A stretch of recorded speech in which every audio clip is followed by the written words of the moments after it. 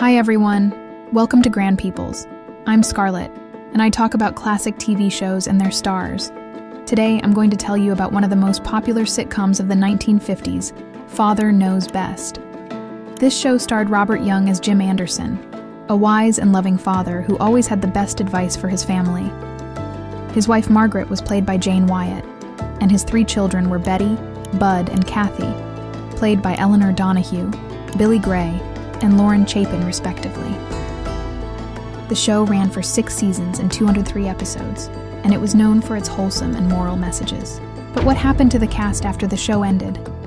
Where are they now? Let's find out. Robert Young as Jim Anderson. Robert Young was already a veteran actor when he took the role of Jim Anderson. He had appeared in over 100 films since the 1930s, mostly in B movies and supporting roles. He also starred in the radio version of Father Knows Best before it moved to TV. After the show ended, he continued to act in TV and movies, most notably as Dr. Marcus Welby in the medical drama Marcus Welby, MD, from 1969 to 1976. He also reprised his role as Jim Anderson in two TV movies in 1977 Father Knows Best Reunion and Father Knows Best Home for Christmas. He retired from acting in 1988 after appearing in his last film, Conspiracy of Love, with Drew Barrymore. He died in 1998 at the age of 91 from respiratory failure. Jane Wyatt as Margaret Anderson. Jane Wyatt was also an established actress before joining Father Knows Best. She had starred in several films in the 1940s, including Lost Horizon, None But the Lonely Heart, and Gentleman's Agreement. She won three Emmy Awards for her portrayal of Margaret Anderson, the calm and supportive mother of the family.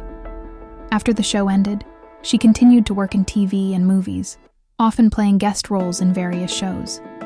She also played Spock's mother, Amanda Grayson, in a 1967 episode of Star Trek and reprised it for the 1986 film Star Trek ERV The Voyage Home. She also appeared in the two TV movies with Robert Young in 1977 she retired from acting in 1993 after appearing in her last film, Amityville It's About Time. She died in 2006 at the age of 96 from natural causes. Elinor Donahue as Betty Anderson. Elinor Donahue was only 17 years old when she started playing Betty Anderson, the eldest and most mature child of the family. She was also known as Princess by her father.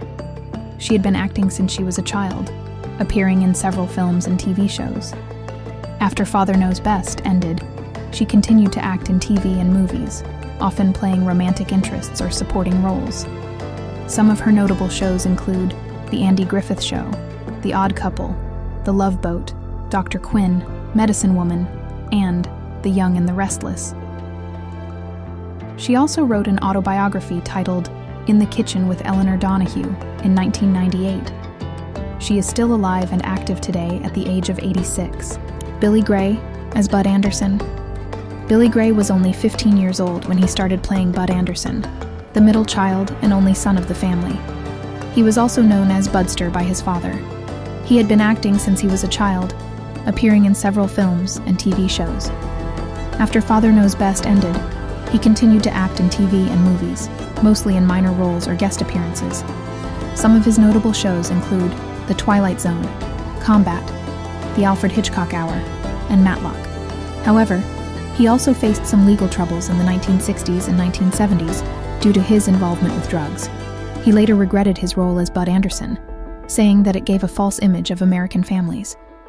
He also became interested in motorcycle racing and founded a company called Billy Gray Speed Center. He is still alive today at the age of 85. Lauren Chapin as Kathy Anderson Lauren Chapin was only nine years old when she started playing Kathy Anderson, the youngest and most naive child of the family. She was also known as Kitten by her father. She had been acting since she was a child, appearing in several films and TV shows. She won five Junior Emmy Awards for her role as Kathy Anderson. After Father Knows Best ended, she had a difficult life, struggling with drug addiction, multiple marriages, and divorces.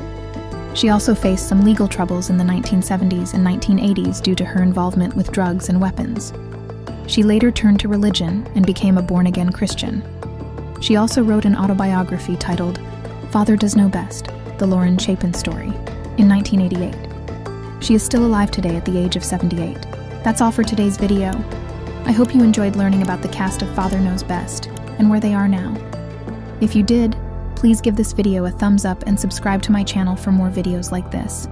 And don't forget to leave a comment below and tell me what you think of this classic TV show.